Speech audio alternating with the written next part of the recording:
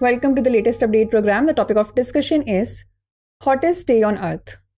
On 21st July 2024, the Earth experienced the hottest day ever recorded with a global average temperature of 17.09 degrees Celsius. According to the Copernicus Climate Change Service, that is C3S, this broke the previous set record of 17.08 degrees Celsius on 6th July 2023.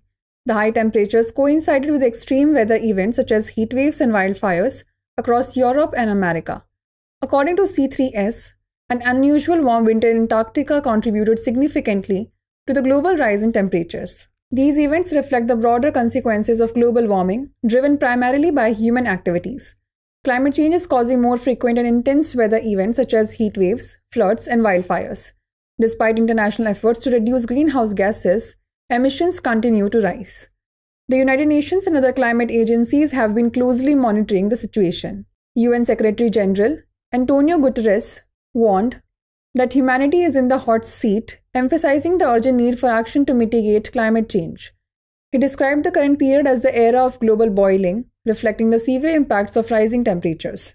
Following are the consequences of rising global temperatures sea level rise, floods, ocean acidification, droughts and heat waves, wildfires, or biodiversity loss.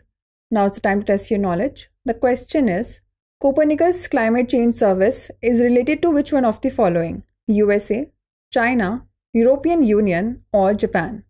Send the answer to this question in the comment section. Thanks for watching. For more informative content, like, share, and subscribe. And do not forget to press the bell icon to get the notifications.